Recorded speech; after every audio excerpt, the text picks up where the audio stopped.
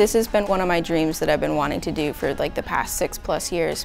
I thought it was a passion at the time and I can definitely tell it's a passion now that I really, really want to fix aircraft.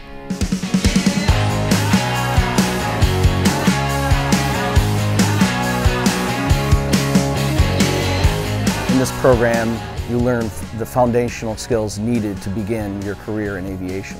This program is sort of the first third in a three-step process of becoming an A&P. A&P is airframe and power plant mechanic. Uh, in order to work on an aircraft, you have to have this certificate. The first step the FAA refers to as the general. We talk about physics of the airplane. We work on our math skills. We work on our tool skills. Uh, learning the names of the tools, proper usage of the tools. Uh, we have to provide opportunities for students to get hands-on work with these tools and get good with them. My favorite part is that I can get to use my hands every single day. I'm getting my hands dirty, getting my hand greasy. There's tons of different people in here from all over the state. Our teacher this year is, is awesome. He's super fun, he's funny. We drill a lot of holes here. Uh, drilling holes and we learn the basics of riveting. When students go to the post-secondary program, they have an entire sheet metal unit that's very intricate. We, we are the foundation of that. We start with basic Ohm's law, um, learn the basics of electricity, we do a lot of calculations on circuits. Electricity runs just about everything and it's becoming more prevalent uh, even in aerospace. Um, you know, we have a local company that's uh, making an electric aircraft. So we've always had that electrical component and made it a big part of our senior year. And now it looks like it's going to be even more important than ever. So half day I still get to see all my friends. I still play sports at my high school. I just come here for two hours and go right back to my school, hang out with my friends. It's just a normal school day, I just go somewhere else. Right now I'm taking my second year of the general, which is two hours every day, my junior and senior year of high school.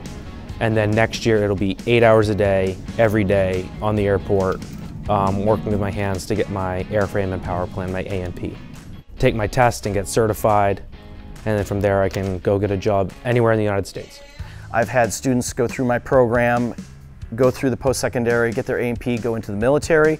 I've had them do the entire program and then go to college. I think this kind of dips their toe in aviation a little bit and kind of gets them thinking about and understanding some of the jargon, some of the rules and regulations, and just the work ethic in general. You know, you can look around this shop, you can see it's very neat and tidy. Um, that's how we like to work in aviation. We keep things in their place. I mean, we kind of all joke about it a little bit, but you kind of really need to be sort of a perfectionist if you're going to be an aircraft mechanic. Maybe back at high school I wasn't sure what I was going to be doing, but here I, I know what my outcome is. I know what I'm going to be doing, so I'm, I'm motivated to, to keep moving forward. Another thing that BTC has helped out with tremendously is the fact that they will bring us on field trips, like tours, to like a bunch of the aviation companies, especially in Burlington, so it's pretty awesome. There is a lot that they teach you in this class, everything that you need to know as a mechanic. But when you're out there in the field, their major concern is like human factors. And it's always safety comes first. And then at the end of the day, it's like the biggest reward ever because the aircraft goes out and you know that it's safe. To learn more about our application process and programs, visit Burlington Technical Center today at btc.bsdvt.org.